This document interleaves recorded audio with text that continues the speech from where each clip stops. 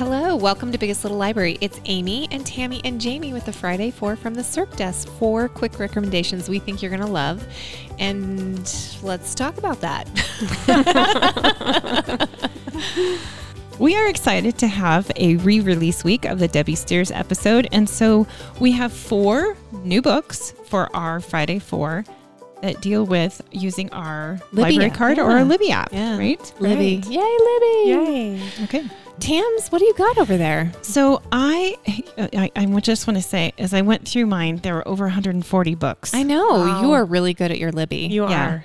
So I almost always have uh, like a lineup of audiobooks coming. And the one book, I, as I scrolled back through, that was very profound, and I remember I listened to it back and forth on my way to school, is Between the World and Me by Ta-Nehisi Coates. And this came out in 2015 and it's it's a it's a short read. I mean, it's 152 pages, but I listened to it, and I think that's how every single person should experience this book because he's reading it himself, and it is a lengthy letter to his adolescent son, and it really delves deep into um, how America has really built this empire on the idea of race and how the falsehood uh, that damages us is um, really at the expense of black men and black women. And um, they- they're just exploited through slavery and segregation and threatened today with, you know, lockup. And, and we just, you know, we've, we've had our year, two years of um, all of the events that have taken place with the Black Lives Matter movement. And just the other day, they were talking again about the Black Wall Street and the burning of Black Wall Street. That was not in our textbooks in Tulsa, Oklahoma. And this is such a heartfelt, gripping work by um, Mr. Coates about um, these larger questions and and what the consequences are for his son. And it just is I just got gave myself um, goosebumps from it because it is so powerful and it just just makes you cry. And he reads off the names of some of these young boys who have been killed. And um, he's just so concerned for his son and wants his son to grow up to be a man. And he knows that he has all these struggles to overcome. So it is such an important book and I I loved it, and I think it's um, especially powerful because he's reading his own words. So, uh, between the world and me by Ta-Nehisi Coates. I'm gonna have to. That's up been on my to read list. Have you read it yet? Jay? I read it, but I think listening to it sounds really more Yeah. powerful than I thought it was a pretty powerful read. Mm-hmm. Um, and I love that it was uh, in the format of a letter to his son. I thought that was really special.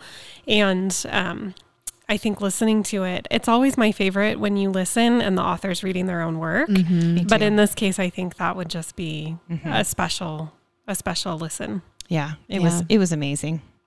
Do you know how many hours it was? Does, It, it does say. Let me. Um, it's four hours. yeah. Yeah. That's I'm gonna- I'm gonna- manageable. I'm going to It put that on my thing right now. I'm Yeah. actually going to put it on right now because I've Oh, been yay. dying to read that. yes, I can do that. Jamie, do you want to tell us your books? Sure. Um, so I find um, I really like Libby for audiobooks, and we do that often before we're going to take a road trip. Oh yes. And so we'll pick out a few that, you know, both Rob and I want to read and um, we'll download them before we go. But I did over this last year, um, because the library was a little more limited with their um, hours during COVID. And I really missed walking into the library and looking at the Lucky Day shelf. That was always my Yeah. favorite thing to do. And so I decided that I would um, try checking a few books out on Libby that were just the ebook version, which I had not done until this last year. So last winter, I did that. And I enjoyed reading a little bit more than I thought I was going to on the Libby app. Um, I thought I was going to really dislike the digital format. and it was okay.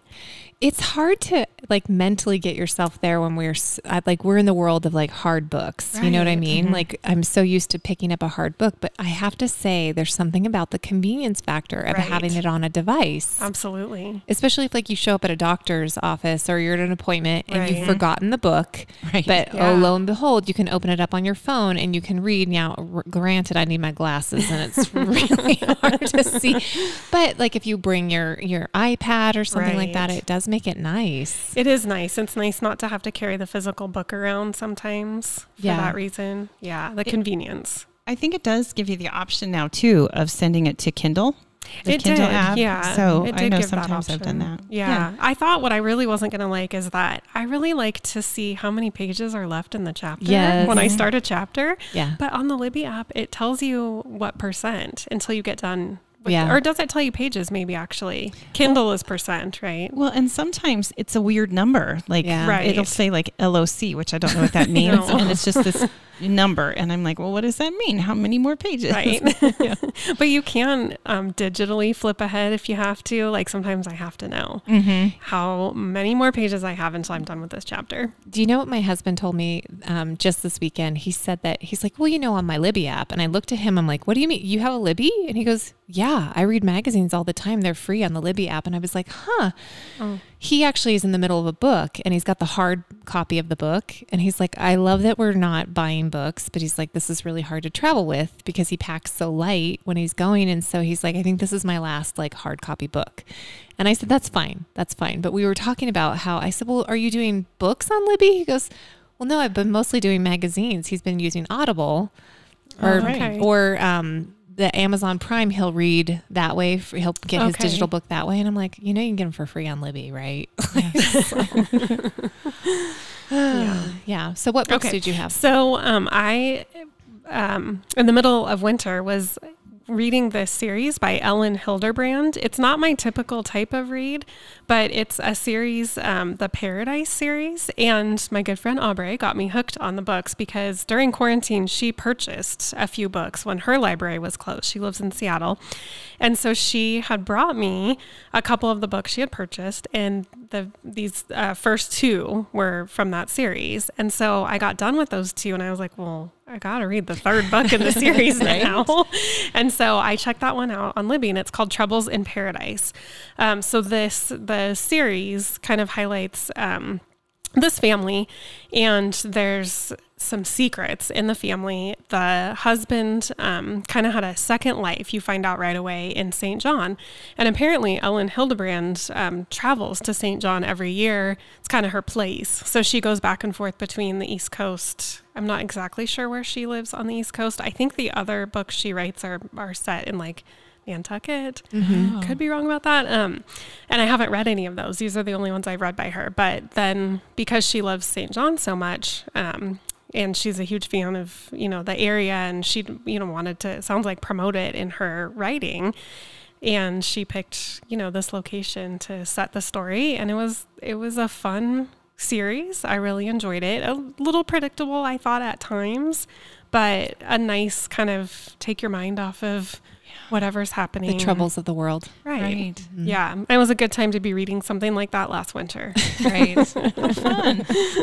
so that was a fun one. Um, my other one was a recommendation from the romance episode from Taryn. Oh.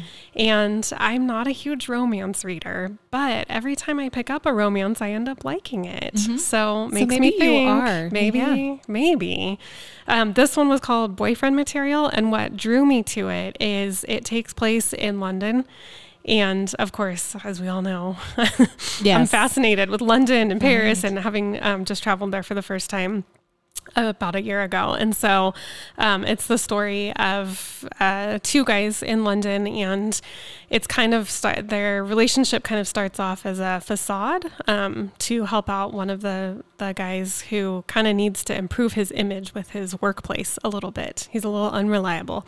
And so um, they, you know, of course, is a little predictable that you know the facade is going to turn into a real romance but it was compelling i thought the story was compelling and i loved reading about all the places they went to in london and just kind of daily life in london super fun Awesome. Oh, I love it. So And now you, Ames. I know. What do you Okay. have? So I I went on this kick um, with watching uh, Jim Gaffigan, his show. Oh my Oh, gosh, he's so fun. hilarious. I yeah. know, and his voice is just like cracks me up. So um, I read. I know. I just love him.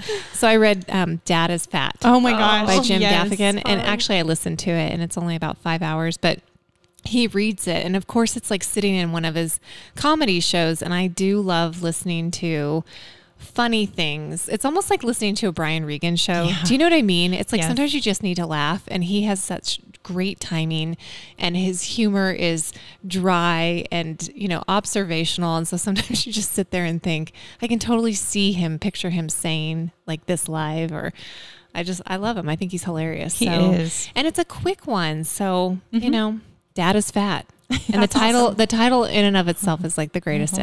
ever yeah and it's like written in crayon because he's got a bunch of kids and i just like him he seems like a good family man He's got I clean think so. humor clean humor is my thing i don't i don't need to hear like every f-bomb Oh, no, me either.